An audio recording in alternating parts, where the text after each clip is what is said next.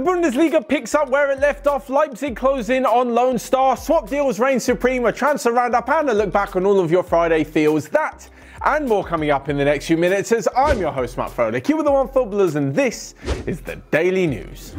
So, first off, and football return, the Bundesliga is back, and yeah, I kind of just picked up where it left off, really. Now, I know there were no fans in the stadium to greet all of the players and all of the goals that flew into the back of the net, but things didn't really change too much. Dortmund absolutely hammered Schalke as you'd expect on current form. Bayern Munich were in a comfortable victory over Union Berlin. Yes, Leipzig did drop points at home to Freiburg. Gladbach moved up into third after they've been fighting for the Champions League spots all season. And down at the bottom, nobody really gained any headway apart from Hertha Berlin pulling off a shock 3 0 win.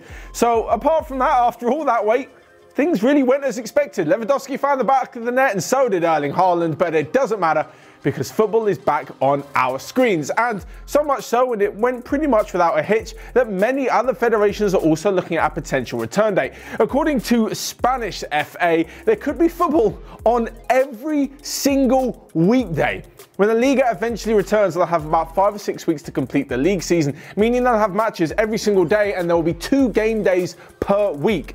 That means your favourite team, whoever you support in La Liga, will be playing two matches every three days. This is definitely going to make for a rather exciting six weeks or so. Along with this, and the Premier League are deciding today whether or not that their players can return to group training, with the 12th of June return looking a little bit too early, but maybe around the end of June when La Liga returns, they'll also be back in action.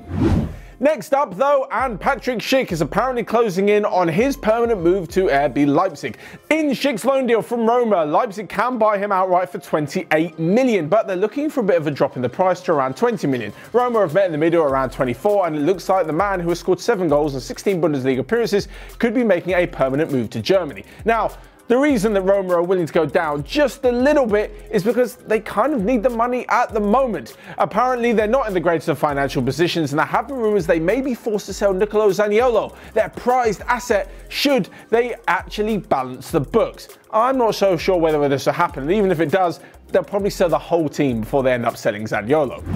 But moving on, and talking of transfers not of the selling kind, but of the swap kind, there are just so many going on at the moment. It's either a swap deal or a free transfer, which is interesting most clubs. First up over the weekend, Ryan Fraser has admitted that he sees his future at Tottenham rather than reportedly Arsenal. The Bournemouth winger was on top form last season with 14 assists, putting him up there with the top five in Europe. This season, only four assists to his name, but his contract is expiring in the summer. Now, while Bournemouth still hold tiny, tiny hopes of getting him to agree a new deal, it looks like he will be leaving on a free, and the 26 year old would be a pretty good signing for for Spurs. They definitely, definitely need some pace up front to complement the other attacking players that they've got. And with Heung-min Son unable to do it all, all of the time, Fraser will be a pretty good backup. But along with this, there have been the numerous swap deals, mainly involving Juventus, PSG, and Barcelona. Somewhere along the way in this transfer market, the likes of Semedo, Pjanic, Paredes, Arthur, Vidal, De Sciglio, somebody is going to move somewhere in a swap deal. Over the weekend, there were rumours that a verbal agreement had been made to swap Nelson Semedo to Juventus with De Sciglio and Pjanic going in the opposite direction, but that has been rubbish within the last few hours, and I'm not so sure a deal like that will actually be happening. It seems like Juventus aren't exactly getting the best bargain out of it.